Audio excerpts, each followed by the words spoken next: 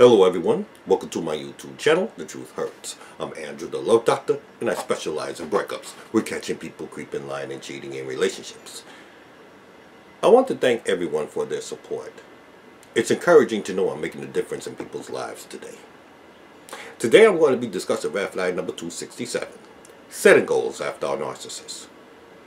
We all had that one monster that made our life a mess. There will always be three types of people in your life. Those who helped you in your difficult times, those who left you in your difficult times, and those who put you in your difficult times. Please watch red flag number 133, The Shattered Dreams with a Narcissist. It took me two plus years just to expel the fury I had within me. That's how hurt I was. What hurt it more was the astronomical betrayal of someone that convinced you they loved you, who claimed to have your back, laugh at your pain while they befriended your enemies. Please watch red flag number 19, How Dangerous is a Narcissist. In my opinion, breakups are associated with addiction because both involve a recovery process. The objective is to start over and rebuild. I documented my recovery from beginning of my discard to show others in my situation by example you will recover. Before and after videos of my first video, November 14, 2016, is undisputed evidence it does get better. My subscribers say they see a profound change within my demeanor, I'm less angry, more relaxed, and cuss less. And since going to school, I'm getting more technical with my content. I'm at peace now. Because the Monsters family confirmed they know I was nothing but nice to that monster. Before the monster's indiscretion. Keyword, before.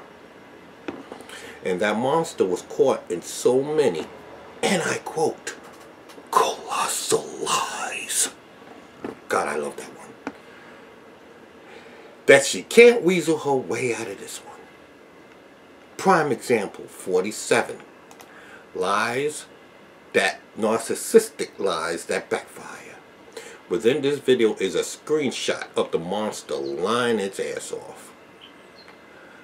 I told you immediately after the discard it will become of great importance that people know the truth. Because so many lies was told behind your back.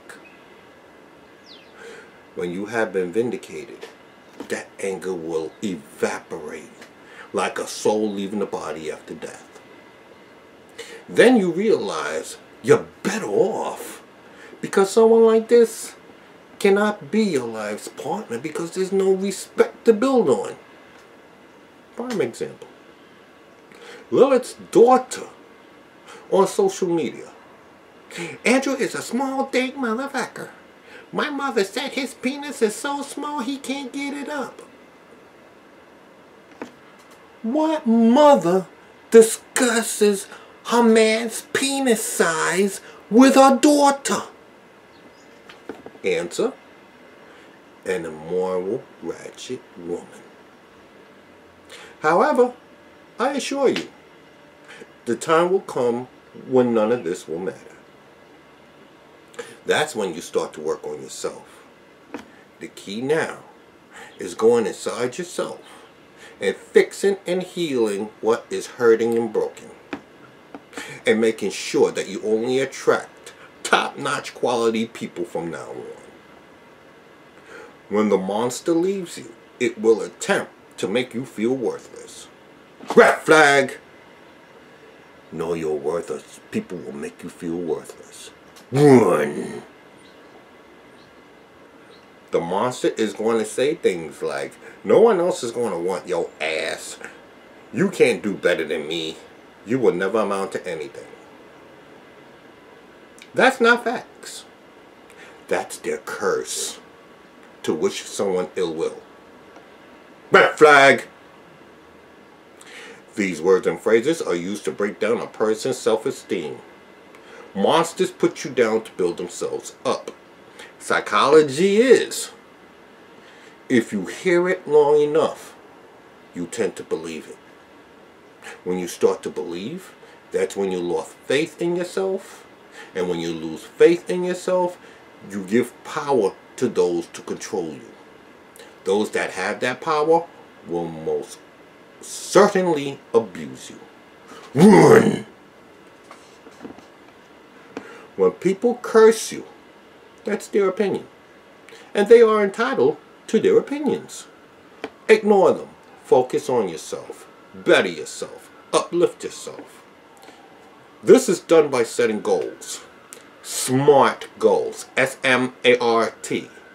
S. Specific. What you wish to accomplish and what the end result should be. M. Measurable. How long will the goal be achieved? There are two types of goals. Performance and outcome goals. Keep in mind that you will always have more control over performance than you will over the outcome. A. Action. Action oriented. Use these words when planning. A lot of people talk shit and don't do nothing. R. Realistic. Vision what your capabilities are. Kind. Don't procrastinate. Set deadlines to measure your success.